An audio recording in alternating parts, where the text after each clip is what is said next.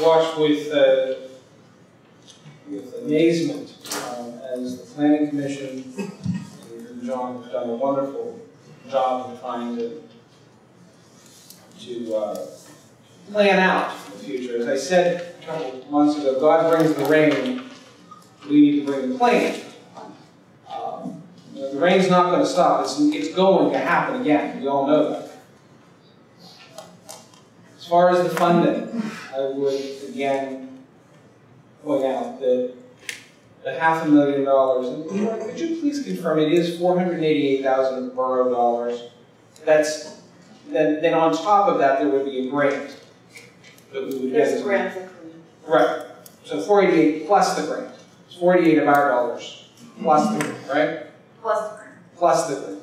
If we didn't do it, the grant would go The away. grant would go away. You can't use your. Exactly, exactly.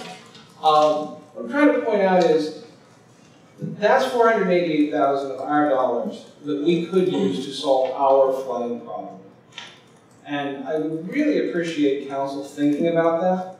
I, I, I don't think that the other communities and the other institutions involved would, would object. I think they would understand the need that we have here, uh, in our community, uh, with the flood.